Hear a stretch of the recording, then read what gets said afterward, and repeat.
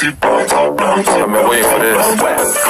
Off the 220 degrees, take off the. In the air,